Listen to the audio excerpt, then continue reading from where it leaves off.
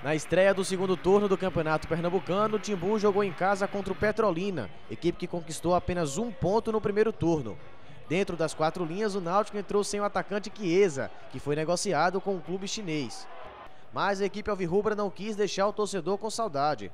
Rogério fez o cruzamento, o alemão desviou de cabeça e a bola terminou no travessão. Bruno Colasso cruzou, Elton cabeceou forte e de novo o travessão salvou o Petrolina. É, mas na terceira chance perigosa o Timbu não quis desperdiçar. Bruno Colasso cruzou, a bola passou na frente de Alemão e ficou para Elton mandar com estilo para o gol. Náutico 1 a 0. Eli Carlos também tentou nessa bola de fora da área. É, mas quem estava na tarde inspirada era mesmo o atacante Elton. Depois de bela jogada individual de Rogério, o atacante cruzou e ele estava lá no meio da área para guardar. Náutico 2 a 0. Eli Carlos quase marcou, mas seria contra. O volante tentou afastar e por pouco não botou para dentro. Felipe salvou pelo Náutico.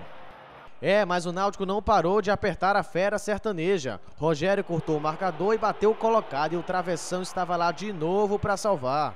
No segundo tempo, a equipe do Petrolina até que tentou um golzinho. Nessa jogada, o atacante ficou cara a cara com o Felipe mas mandou para fora.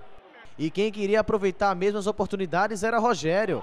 Ele escapou pela esquerda, cortou a marcação e mandou uma bomba. Golaço do Náutico, 3 a 0. Logo depois, ele Carlos mandou linda bola de novo para Rogério, que driblou o zagueiro e mandou para a rede. Segundo gol de Rogério, quarto do Náutico.